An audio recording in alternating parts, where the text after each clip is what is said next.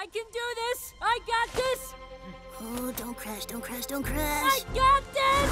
Woohoo! That's it! Vibration!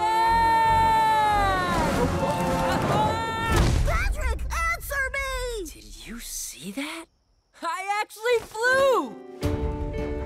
Tomorrow, we will travel south to Mexico. As you know, not everyone will be joining the migration. What? Why can't I go? You're just not ready. No one expects much from me. Stop trying to be like everybody else. What does that even mean? Do it your own way. It's all Monarchs, get ready for takeoff! There's finally gonna be another flutter of butterflies coming through, and we're gonna eat them all. There's no time. You'll have to do it. What? You'll have to fly. What happened to that gutsy guy looking for adventure? Wow. Let's go. Please let me turn into a butterfly now. Just let me be your eyes. Watch out!